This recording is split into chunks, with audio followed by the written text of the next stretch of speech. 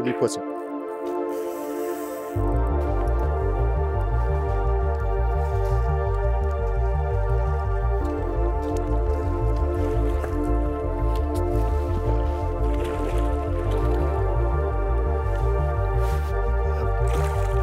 Allez, rentre dedans. Puis la tête trop petite. C'est bon ça?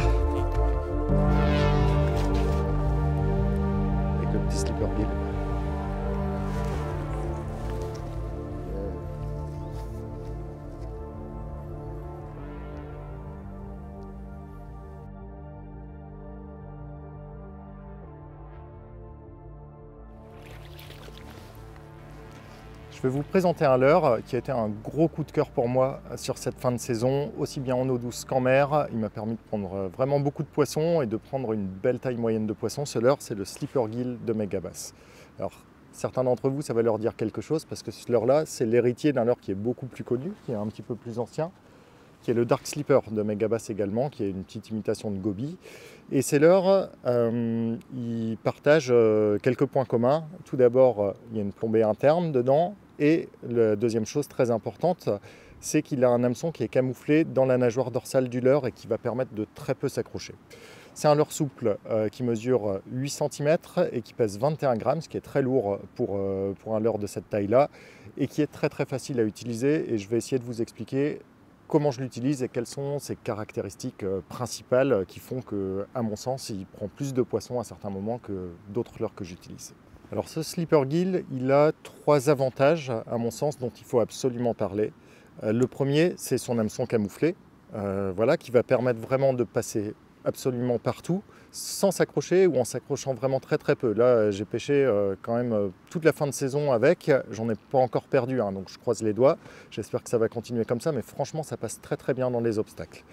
Donc l'hameçon, il est camouflé à l'intérieur, mais quand un poisson le prend en gueule et appuie dessus, tout de suite l'hameçon ressort et euh, franchement au ferrage il y a un très beau taux de réussite. Alors il faut ferrer de façon assez ample mais, euh, mais, il y a très très peu de ratés euh, au ferrage. Cette cavité à l'intérieur parce qu'il est vraiment creux comme ça elle permet aussi de loger de l'attractant à l'intérieur. Ça c'est quelque chose que j'aime bien faire. Il y a des jours où ça ne sert absolument à rien, d'autres où clairement ça fait la différence. En tout cas, ça enlève jamais, euh, jamais de poisson le fait de mettre de l'attractant. Donc là, on a vraiment un gros réservoir à l'intérieur dans lequel on peut charger de l'attractant en pâte. Euh, et puis euh, une fois qu'on en a mis un petit peu dedans, moi j'utilise l'attractant Alco, le catch scent. Quand j'en mets dedans, pendant une heure, deux heures, voilà mon attractant, je sais qu'il y en a toujours à l'intérieur et puis qui libère toujours un petit peu un petit d'effluve derrière et que quand un poisson appuie dessus, ben, ça ressort et puis il a une sensation peut-être de naturel qui fait qu'il le garde un peu plus longtemps en gueule et qu'on arrive mieux à les ferrer. Donc ça c'est le premier avantage et qui permet quelque part de pêcher dans plein de zones différentes, alors que ce soit volontairement en ciblant des endroits, des arbres morts si on pêche en eau douce, des rochers euh, en mer, euh, euh, des champs d'herbiers, des choses comme ça. On va vraiment réussir à le faire passer là-dedans, même parfois dans les herbiers, à continuer à ramener sur l'herbier et puis euh, dès qu'il s'en dégage, il reprend une nage normale. Il n'y a pas forcément besoin de tirer pour euh, qu'il s'en dégage. Donc il passe vraiment partout. Donc ça c'est intéressant. Comme je disais, sur des zones, quand vous avez ciblé une zone où vous savez que euh, parce qu'il y a des obstacles, il y a souvent des poissons qui sont embusqués et qui sont en chasse, on va pouvoir aller jouer, aller les chercher là-dedans. Mais c'est aussi intéressant quand on pêche une zone qu'on ne connaît pas du tout, on ne sait pas si ça s'accroche, si ça ne s'accroche pas, le fait d'utiliser un leurre comme ça qui passe bien partout, ça permet vraiment de, euh, bah, pouvoir tester la zone sans prendre euh, de risques ou en prenant très peu de risques de perdre son leurre.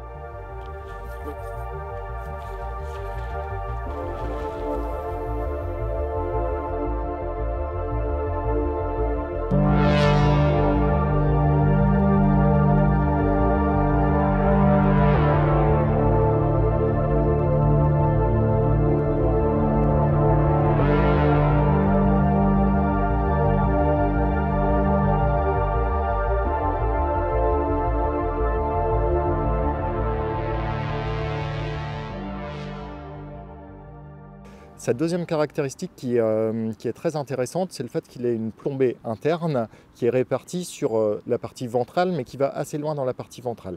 Donc en tout, le leurre, il pèse 21 grammes.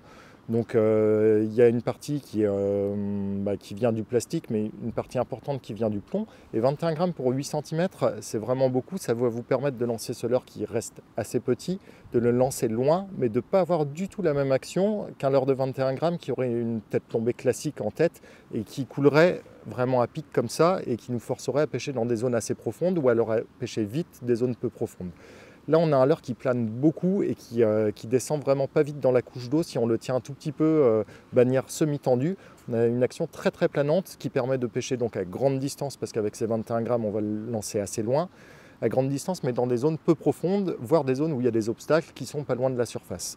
Clairement, il n'y a pas beaucoup d'autres leurres souples qui permettent de pêcher aussi efficacement dans ce type de zone-là. L'autre avantage, à mon sens, de la plombée interne, c'est sur des poissons difficiles. Il y a certains jours, que ce soit les bars, les cendres en particulier, ils n'aiment pas trop euh, le contact du plomb avec le fond. Euh, ça doit créer des vibrations, euh, un choc. Et les gros poissons, un peu méfiants, surtout sur les zones qui sont un peu surpêchées, ils peuvent sentir, euh, sentir ce choc sur le fond comme un signal d'alerte. Et là, le fait que la plombée soit vraiment incorporée dans le plastique, c'est beaucoup plus discret quand ça touche le fond. Donc on va vraiment pouvoir aller s'amuser à rentrer en contact avec les obstacles sans avoir ce problème euh, qu'on peut avoir sur euh, certains autres leurres. Le troisième avantage de ce leurre-là, c'est un petit cumul de tout ça. C'est le fait qu'il y ait cette plombée-là et que le leurre face à un certain poids, ça va permettre vraiment de le tenir quand il y a des conditions de vent ou de courant euh, euh, qui vont vraiment prendre dans la bannière. On va pouvoir pêcher très lentement, même quand la bannière est tirée par le vent et le courant.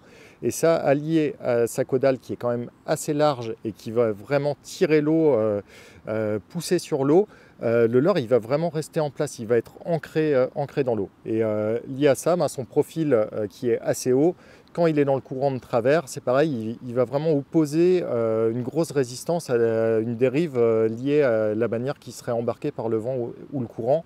Donc euh, même dans des conditions où j'ai beaucoup pêché comme ça, avec des forts vents là en fin de saison, avec ce petit leurre là, on arrive à pêcher avec une bannière qu'on arrive à, garder à peu près tendue. Et pour pêcher dans des zones où il y a 1 à 3 mètres d'eau, ou 50 cm à 3 mètres, on va dire, c'est les zones où je l'utilise le plus, euh, bah, j'avais pas grand chose d'autre qui passait sans, dériver euh, à cause du ventre de la bannière. Donc euh, voilà pour moi ces trois avantages principaux, l'hameçon camouflé, la plombée interne et le fait qu'il il est bien ancré dans l'eau, on le sent très bien, très bien nager, on sait exactement ce qu'on fait et on peut pêcher dans des conditions très difficiles où il n'y a pas beaucoup d'autres leurres qui passent. Alors selon la façon dont je pêche avec ce leurre-là, que ce soit en eau douce avec des pêches euh, souvent à courte distance euh, ou alors euh, en mer où je vais avoir besoin de lancer plus loin ou en eau douce sur des secteurs plus larges, je ne vais pas utiliser le même type de canne. Globalement, pour toutes les pêches où j'ai besoin de précision et où je lance à courte distance, je vais privilégier des cannes casting euh, parce qu'elles permettent un super contrôle euh, du leurre et que c'est très agréable à utiliser comme leurre avec une canne casting. Et par contre, quand je vais euh, chercher de la distance et vouloir lancer plus loin, quand il y a beaucoup de vent, quand je pêche en mer, je vais plutôt privilégier des cannes spinning assez longues entre 2,40 m et 2,50 m, ça va très très bien.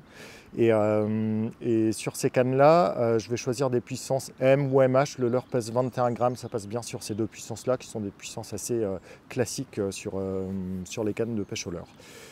Ces cannes-là, je vais les monter avec une tresse assez forte pour ce type de leurre-là, et puis un fluoro en général quand même assez épais.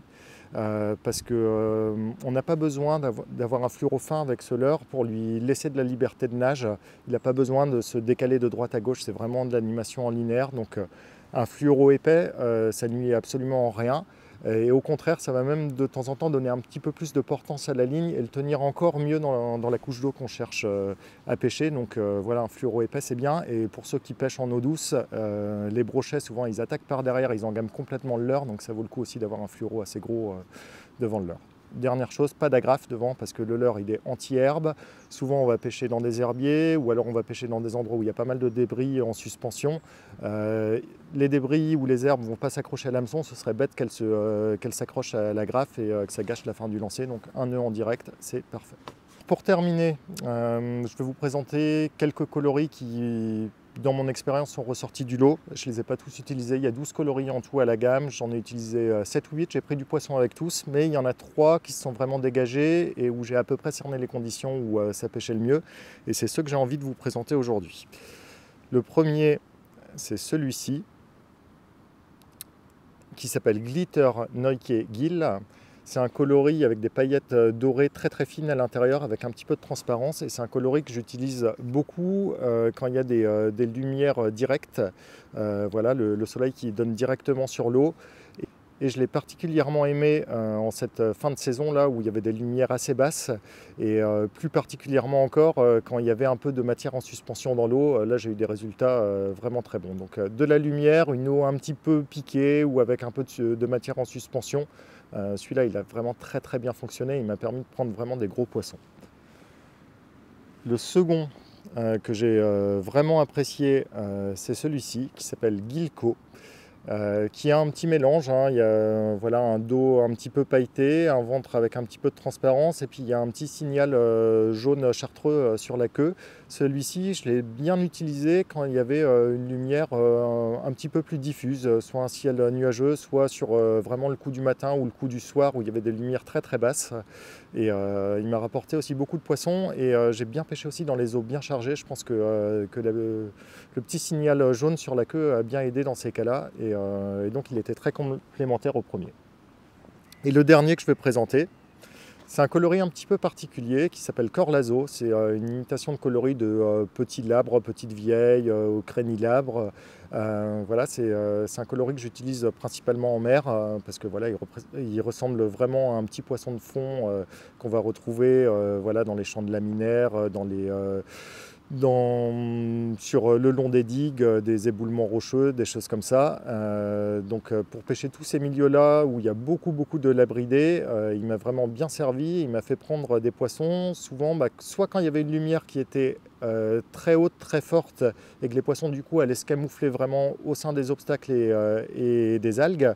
Donc là, en passant vraiment au contact des algues, j'ai bien pêché avec ça, et euh, il m'a aussi permis de, prendre des poissons dans des conditions avec des eaux sales, vraiment marron, un petit peu dégueulasses, et je pense que son dos noir et, ses flancs un petit peu orangés là sont vraiment très bons dans ces, eaux-là. Et il y a quelque chose que j'ai pas fait avec, mais j'ai eu des très bons retours aussi.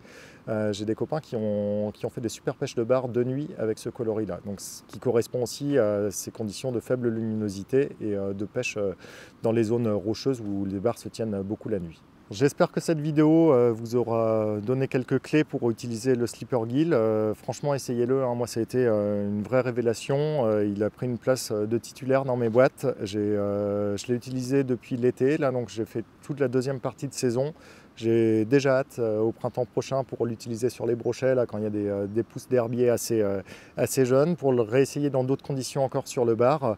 voilà, clairement, c'est devenu un de mes leurres indispensables aujourd'hui. Donc voilà, j'espère que cette petite vidéo vous aura aidé à y voir un peu plus clair et vous aura donné quelques clés pour, pour l'utiliser de la meilleure des façons. Donc n'hésitez pas si vous le connaissez ou si vous avez des questions, que vous voulez un peu nous, nous dire comment vous, vous l'utilisez de votre côté, n'hésitez pas à utiliser l'espace commentaire. Je me ferai un plaisir d'échanger avec vous et, euh, voilà, de dialoguer un peu à propos de, de nos façons d'utiliser ce leurre.